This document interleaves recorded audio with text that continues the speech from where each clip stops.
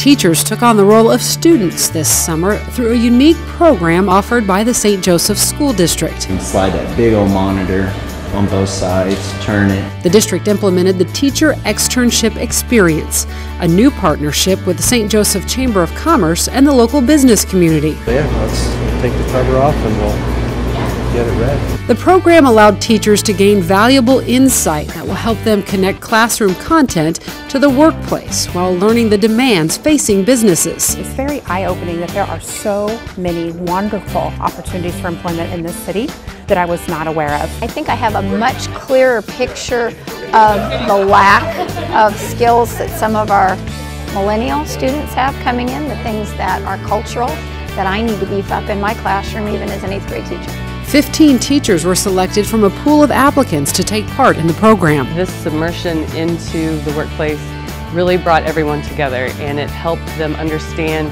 what the expectations of employers are and how everyone can have an opportunity.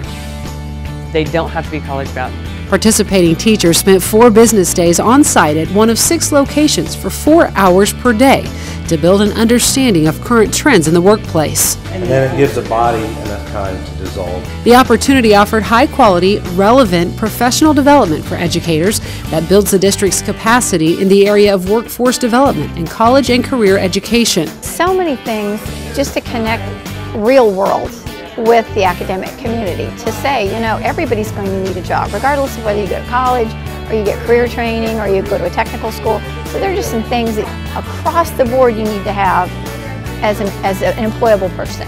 Businesses taking part in the program include Boehringer Ingelheim Vet Medica, KCP&L, Mosaic Life Care, Nestle Purina, Omnium LLC, and Triumph Foods. It's important to uh, establish those relationships and I'd like to see more. I'd like to see the grade school all the way through the high school through the universities here. Already businesses and educators are looking forward to building on the program. Oh my gosh, we should just expand it. I would love to have more time with them. Really what they've done is really, really good. I think it could be repeated with a lot more educators getting to take advantage of it. I would definitely like to see it grow into projects where they continue to work together and we get more involved.